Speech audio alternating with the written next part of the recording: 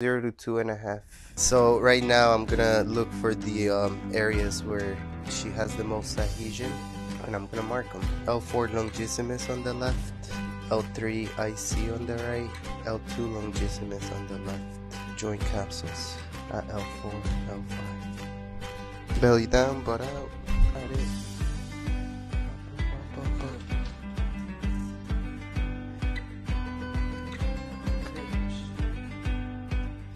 0 to 2. What was she? Two and a half. So half an inch better.